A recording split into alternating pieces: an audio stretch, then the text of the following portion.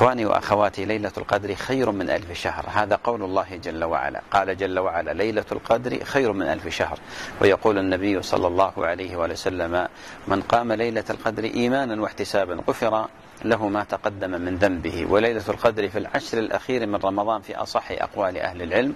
ولا ينبغي للإنسان أن يجزم على ليلة من لياليها. الصحيح أن النبي عليه الصلاة والسلام بين لها علامات.